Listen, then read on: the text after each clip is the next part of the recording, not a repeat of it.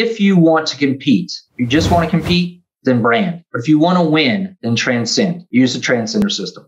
What's up, branding experts? Arek here at Ebaq Design, and welcome to On Branding Podcast. And today, my guest is Stan Bernard, and Stan is an internationally recognized, award-winning global competition consultant. So, Stan is the president of Bernard Associates LLC and the creator of the Transcender System. And Dr. Bernard is also a former senior fellow at the Wharton School of Business. And he had been a consultant to leading businesses around the world for nearly four decades, working with more than 150 companies across six continents. And Stan is also a keynote speaker and a published author. And so he authored the book Brands Don't Win. And this is the book we are going to talk about today.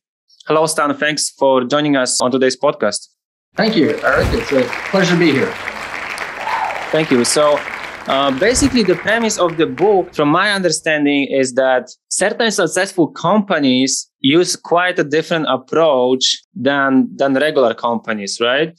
So basically, you analyze bigger brands like Apple, Starbucks, or Peloton and explain to us why is that they were able to change the game and, and they don't play the same game of brand differentiation like most companies do, right?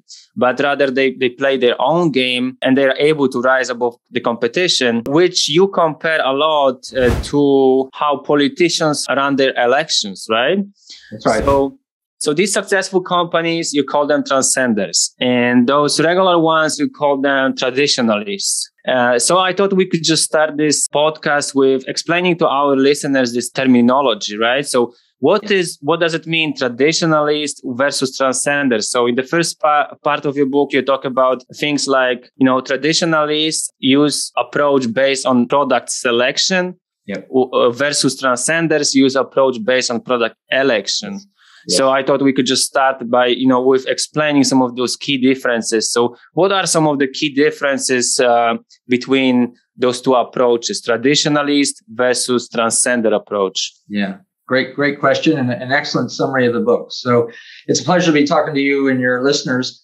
I think most everybody knows that uh, the vast majority of the companies in the world, no matter whether they're offering services, technologies, products, whatever it may be, they basically all play the same game, which is a branding game.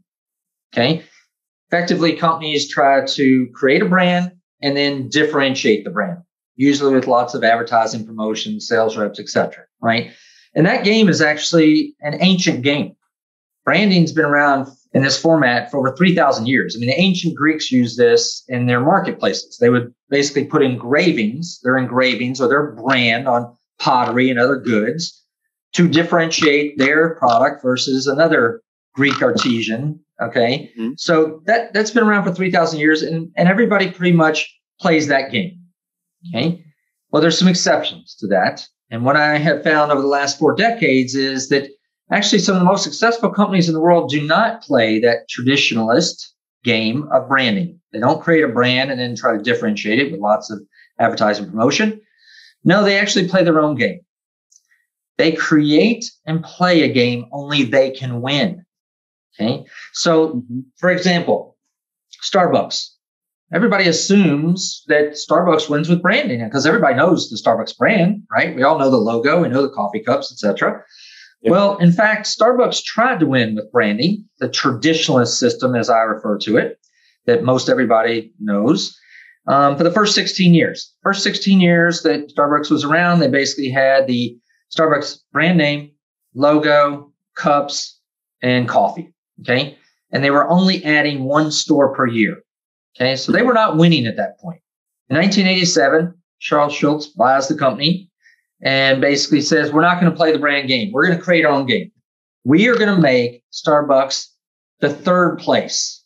We're going to make Starbucks the third place, three words between home and work in America. He changed the game. It wasn't about branding the coffee or differentiating the coffee. It was all about winning with the coffee shop.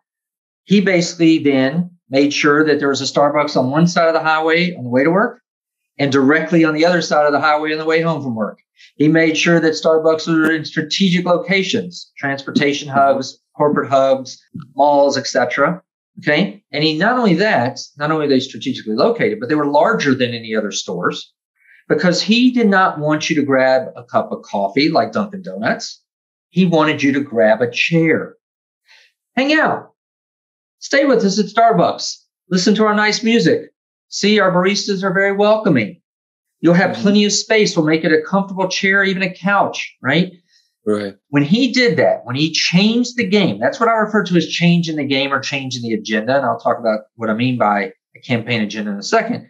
But he changed the game from the coffee to the coffee shop. And in so doing, over the next 20 years, Starbucks went from adding one store per year to adding 1,350 stores per year.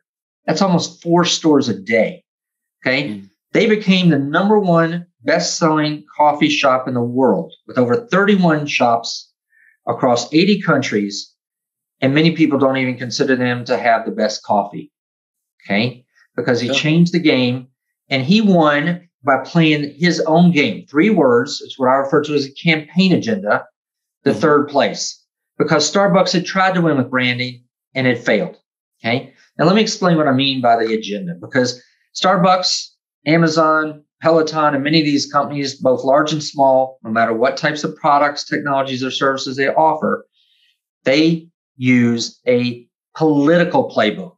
Transcender companies rise above their competitors by using a political playbook, not a product playbook. So you you asked that question. Let me explain it. Right. Traditionally, we, we lead with the brand, right? Company basically says it's all about the brand. They put that first. First, it's almost like it's the lead actor, the brand.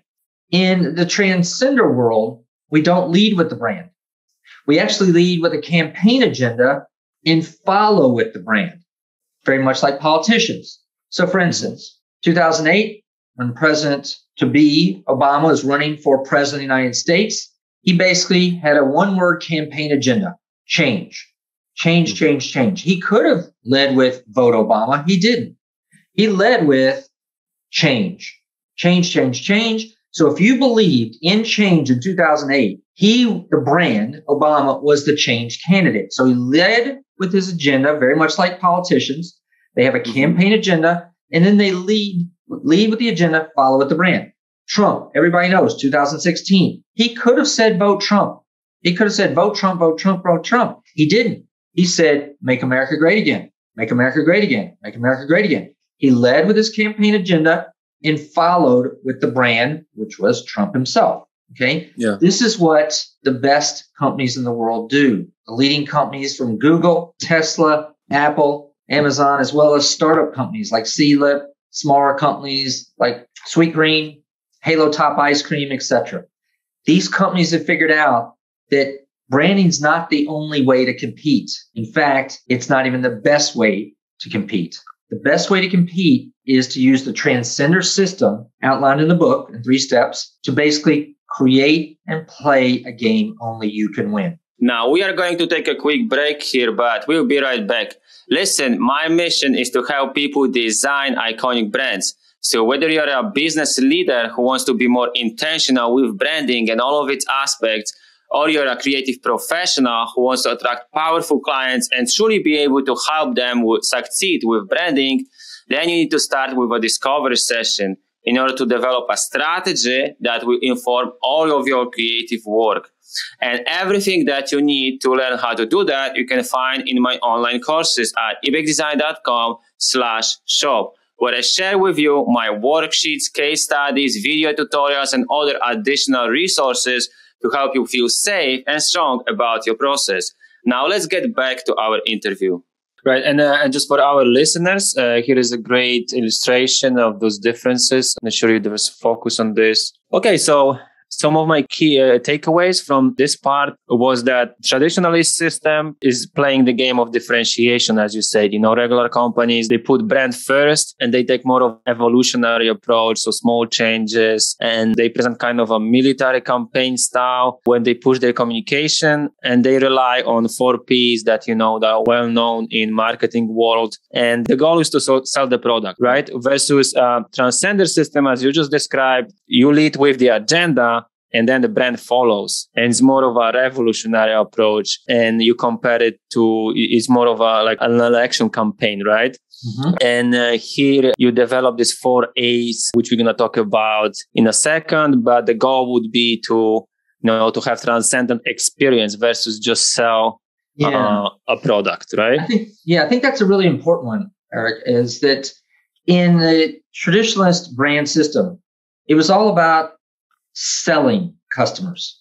In the transcender world, we're not trying to sell, we're trying to inspire. Okay. Mm-hmm.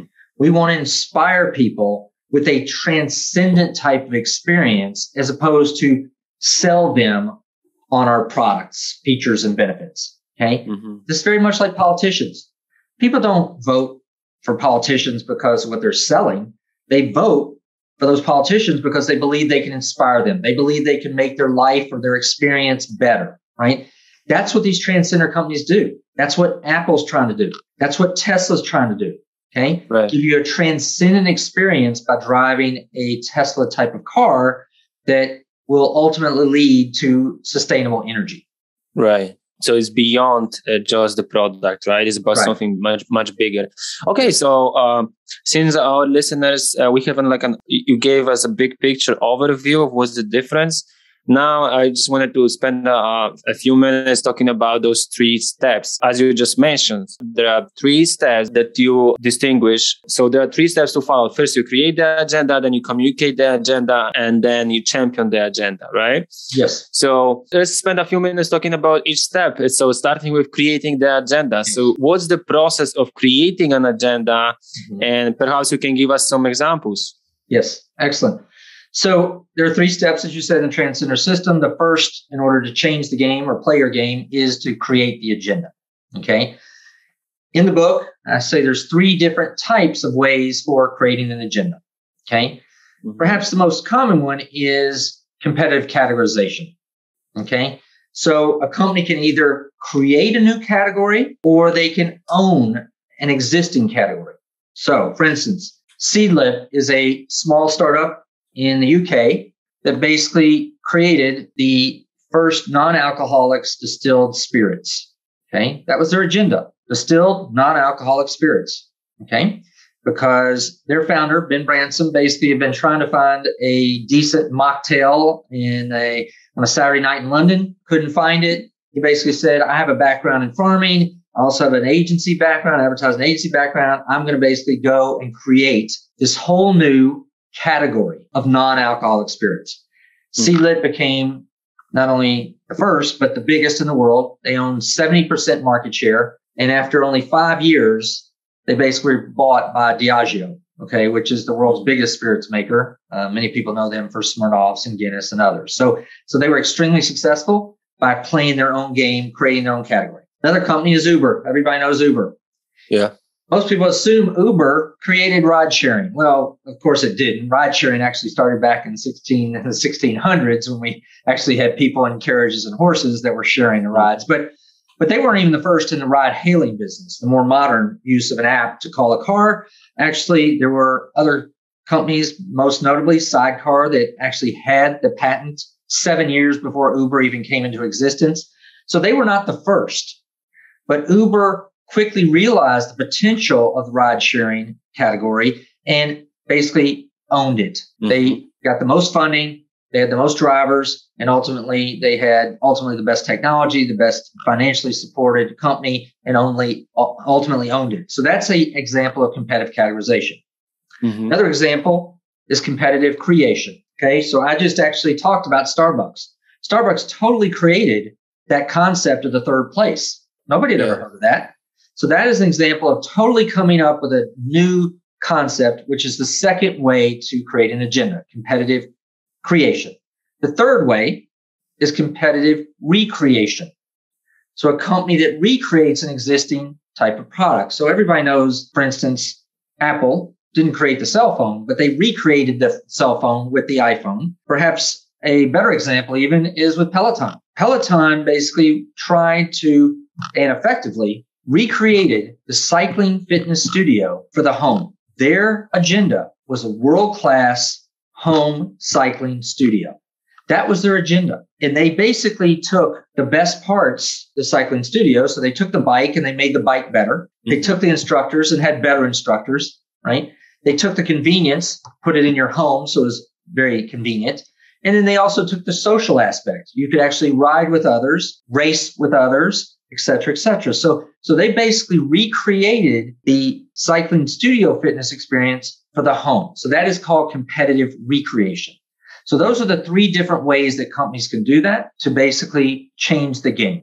Right. Okay. So just some summary for our listeners. There are three ways in which you can create the agenda. First one would be competitive creation. So when you create a new space, so for example, iPod and iTunes, as an, example from your book, they were different in the sense that they advertise iPod and iTunes as thousand songs in your pocket, which the you know, iPod, uh, like the iPod device. Yep. Right, and no one ever has done that before, and really directly speaks to customers. Right, other competitors they used to advertise in terms of you know like how many gigabytes but it's not really understandable. So that's the difference. The second way to create an agenda is competitive recreation. So recreating an existing product um, like you mentioned with iphone for example they reinvented the cell phone industry. There were different you know different brands so many different smartphones but uh, when they entered the market and iphone was like nothing else people have seen before. And another example is peloton right? And the third way to create an agenda would be competitive categorization so owning a new category right? Like uber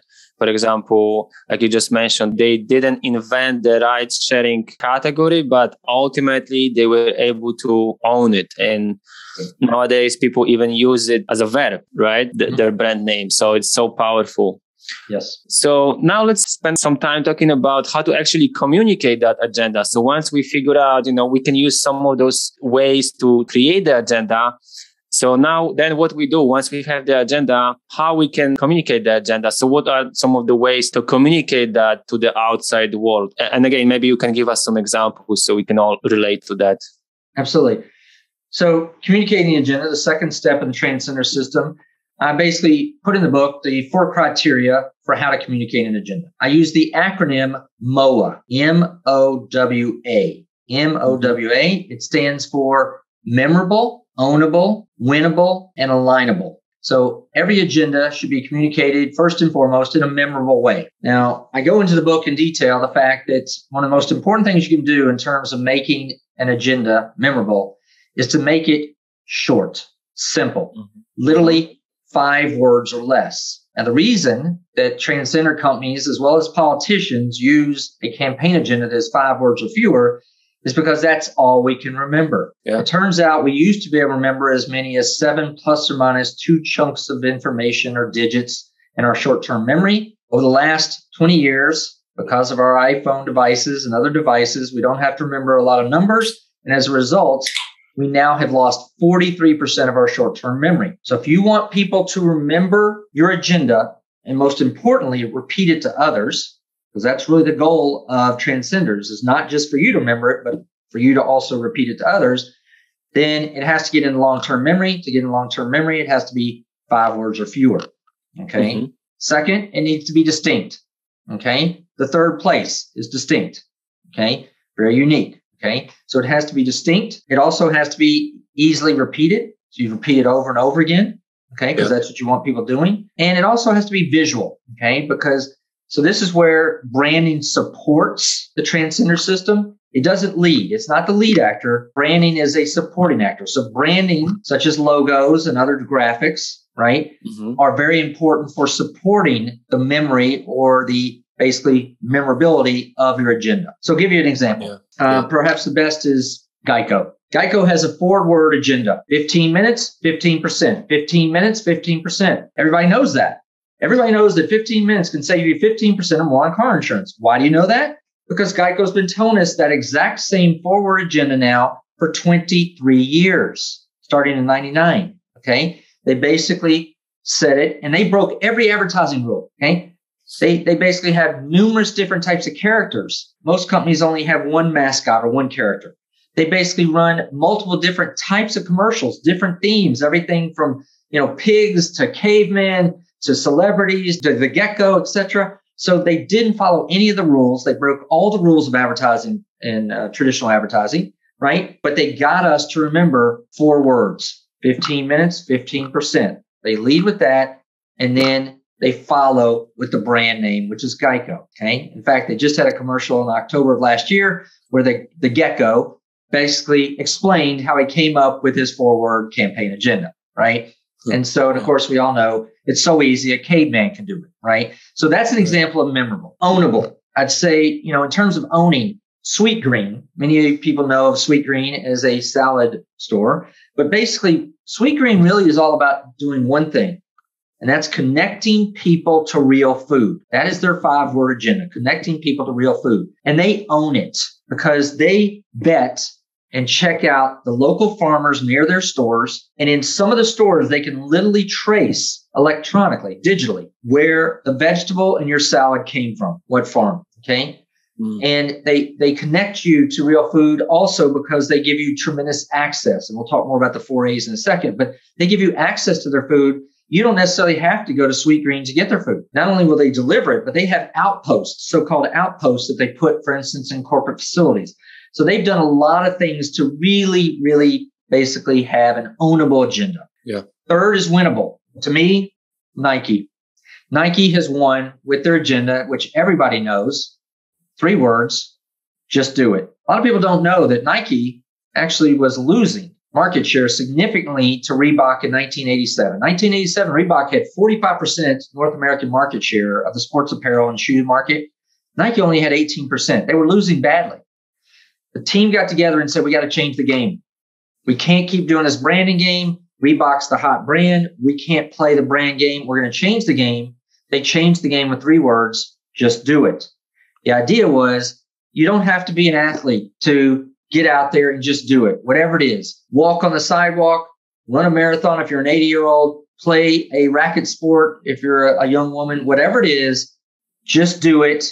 Nike, meaning anybody can get up, get in our clothes, and just do some sort of exercise. When yeah. they did that, they dramatically changed their sales trajectory and market share. They raced past Reebok and they are and have been for years the dominant player in the sports apparel market. So that is truly a winnable agenda. You can go on Google and there's over 366 million hits on Google for just do it in Nike. Lastly, yeah. is and it's MOA is alignable. The idea is you want everybody to be able to align to the agenda Perhaps the best example of that is Amazon. Everybody at Amazon knows their two word agenda customer obsession. Mm-hmm. Customer obsession, customer obsession. Jeff Bezos has never ever said we win because of our branding. You don't even see the name Amazon on the side of the trucks that are delivering your packages from Amazon. Why? Because they don't win with branding. It's not a branding game that Amazon's playing. They never have. Jeff Bezos from the outset has played a single game called customer obsession. They are the most customer obsessed retailer in the world, which is why they're the number one retailer in terms of value in the world. Okay. So the nice thing is everybody from Jeff Bezos down to the person delivering your packages knows it's all about the customer. It's all about the customer. It's customer obsession. We're not talking about customer centricity, you know, customer focus. No. Amazon, everything they do is about the customer.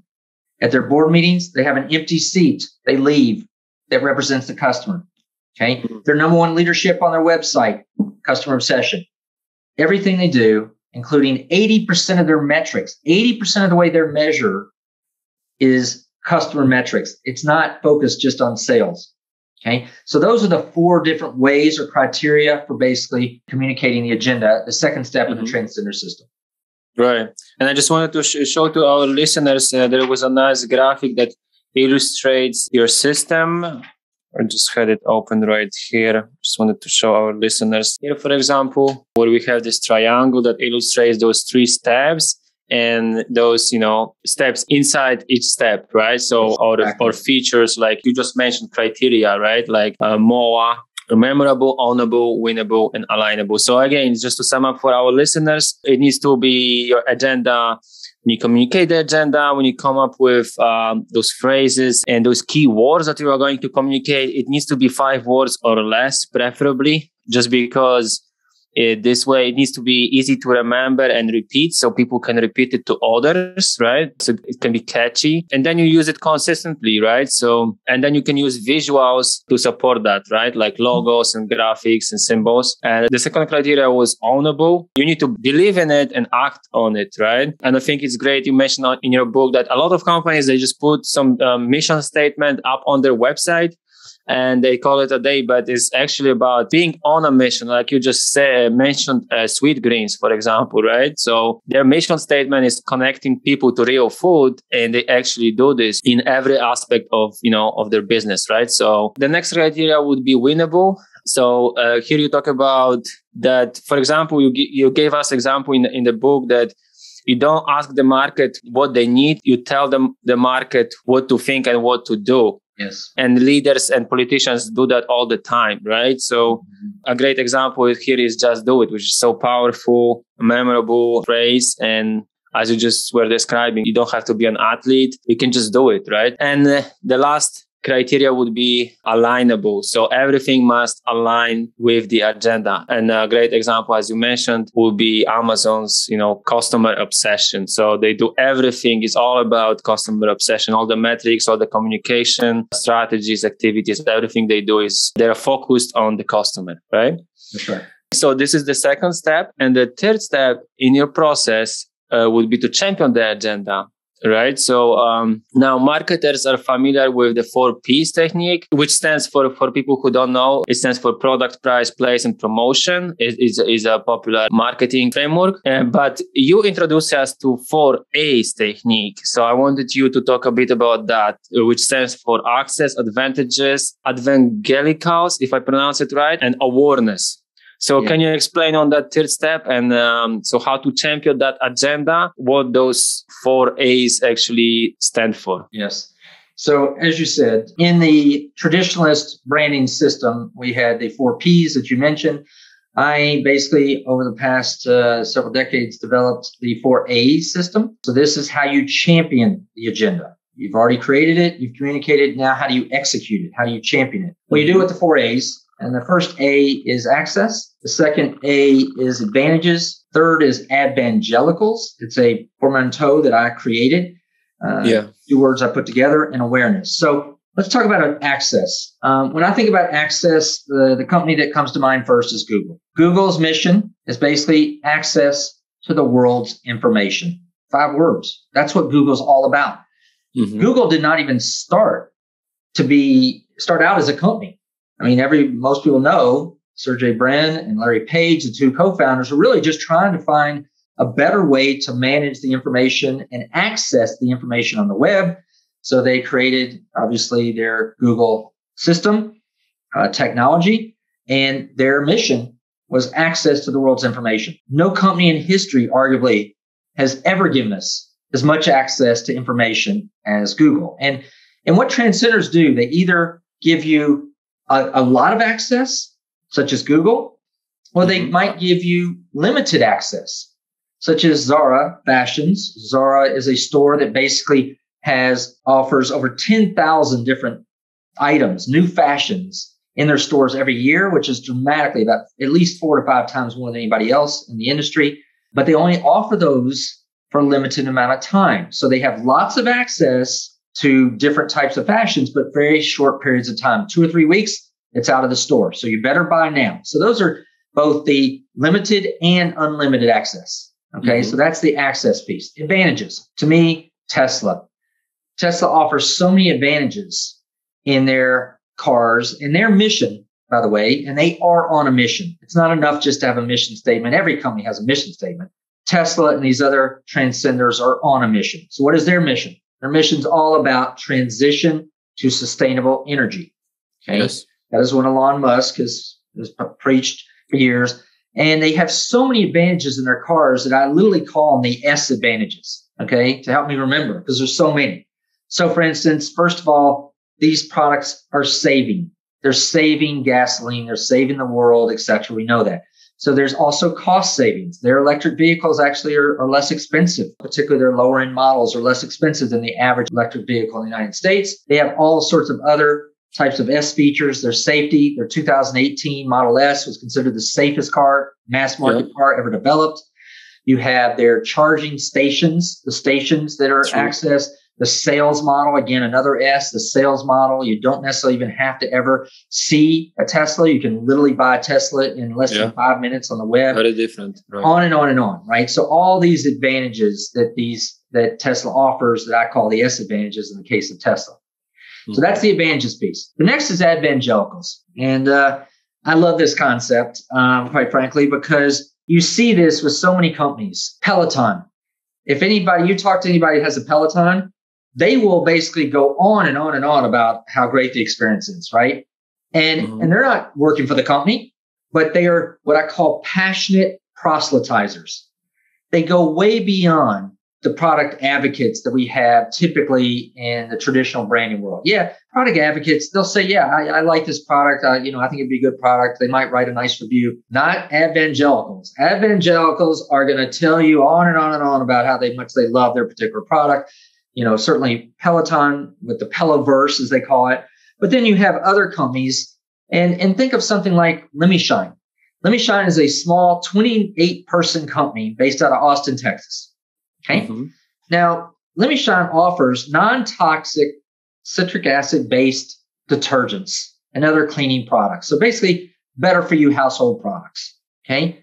And they basically talk, their agenda is clean, free, clean clean, free, clean. The idea is they found out that about 10% of people that clean dishes are fastidious.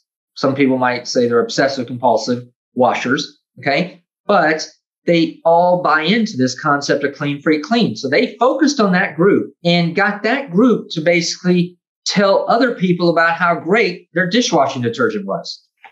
I mean, it's one thing to save the world like Tesla with sustainable energy, mm-hmm. but to get people excited about a dishwashing detergent, well, that's exactly what Lemi Shine did.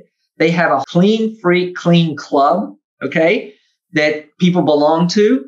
And they basically make sure that these particular members of their club get their samples first, get the information first, get all these different discounts so that they then go and tell other people who probably are not quite as interested, quite frankly, in how their dishes are cleaned about how great Lemi Shine's products are. So they have all this consumer generated content on the web that are very high ratings for their basically their dishwashing detergent. So that's, you know, that's going way, way beyond with an evangelical. And then last is awareness. Awareness can be two types. It can be, and I refer to it sort of as either big buzz or B buzz. B buzz is sort of that constant, you know, that you hear. So, for instance, Donald Trump had B buzz. The idea was he was constantly on Twitter and other media, social media platforms. You were always hearing him. He basically had at one point 50 times the mention of Hillary Clinton. He owned the airwaves. Well, there are companies that do that, such as Halo Top. Halo Top ice cream basically used uh, this idea of awareness and their, by the way, their agenda for Halo Top is guilt free ice cream. Guilt free mm-hmm. ice cream. Great concept, right? Yeah. You can eat the whole pint. You don't need to feel guilty, right? Right. And so they sent both real and virtual samples to many, many different fitness fanatics, uh, health gurus, health advocates, etc. And so they built up this base of evangelicals who created awareness by talking about Halo Top ice cream. In fact, they even had one GQ reporter who only ate Halo Top ice cream for a month and then lost 10, you know, 10 pounds. And he talked about it. And so that was great. That's what I call B awareness, B buzz awareness. Then there's big buzz. And to me, an example of big buzz is certainly in politics, we know the national conventions, Republican or Democratic national conventions are big buzz. But Carrie Hammer, is a young entrepreneur, a woman who basically started Carrie Hammer Fashion. And in order to create big buzz, she changed the game in fashion runways. She had started her company in 2012, but her company took off in 2014 when she basically featured the first wheelchair bound woman on the runway at the New York Fashion Council runway. Never before had there been a woman in a wheelchair, Danielle Peshuk. She was a very noted psychotherapist and psychologist who basically, you know, she was not the typical runway model. Now, Carrie Hammer had realized that when she put her clothes, which are really professional clothes, on these very thin young models, something wasn't right. And she had the aha moment. She said, I need role models, not runway models. Five words role models, not runway models. That was her agenda. After that, she put the first woman who basically had four amputated limbs, a quadru, quadri amputee on the runway, Karen Crespin and others. And so she really broke through with a tremendous amount of buzz. She actually got a billion impressions, a billion impressions. Fox News called it a runway revolution. And so that's an example of big buzz. So those are the four different steps of championing the agenda. Again, basically access, advantages, evangelicals, and awareness and awareness. And I love the examples that we gave us. So some of the really big brands that we can all relate to, but as you explained with those smaller brands, it mm-hmm. you know this system can be applied to any kind of brand right despite right. the category whether it is b2c or b2b or it's a big company or it's a small business as you mentioned right actually eric that's a really important point any type of product product service technology any type of market I've done this everywhere from Russia to South Africa to Australia, China, you name it. Okay. Any type or size of company. Okay. Doesn't matter if you're a top Amazon, Apple type company or a small startup, like um, I have in the book several startups, and it's any industry. So this works across all these different platforms, products, mm-hmm. and places. Yeah, great observation, and, and and I haven't seen anything like that before. So I really recommend you guys to check out the book. There is a lot of examples. You really analyze and give us a lot of examples, so we can all understand the concept behind it. Right? Uh, this book is just filled with great examples. We just scratch the surface, basically, giving you guys some some of these examples, so you can understand this on a high level or what it actually means. What does transcender system stand for? But if you want to learn more, check out the book. I'm going to include the link in the description. So as we are approaching the end of our interview, I just wanted to ask you, uh, you know, what's the best way to get in touch with you uh, or learn from you? Perhaps your website or social media handles? Yes. So I would refer people to the website brandsdon'twin.com. Mm-hmm. Uh, where you can download a, a chapter. You can basically take the quiz, the transcender versus traditionalist quiz. And I guess probably the, the one remaining point I would make is if you want to compete, you just want to compete, then brand. But if you want to win, then transcend. Use the transcender system. That's a great way to wrap this up. So I'm going to include the link in the description and visit Stan's website, brandsdon'twin.com. And of course, check out the book if you want to learn more. Thank you, Stan. Thank you so much for taking the time to do this podcast. Thank you so much. It's a pleasure. Thank you. I appreciate that. Bye.